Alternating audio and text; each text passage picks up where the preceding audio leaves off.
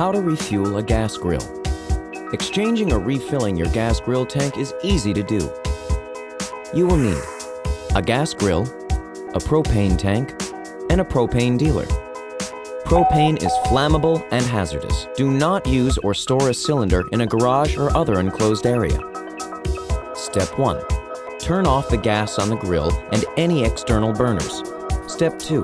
Turn the cylinder tank valve hand wheel all the way to the right until it's completely closed. Step 3. Unscrew the hose or knob that connects the grill to the tank and remove the tank from the grill. Rap on the side of the tank. An empty tank will have an echo. Step 4. Transport the tank in a secure, upright, and vertical position to be refilled or exchanged.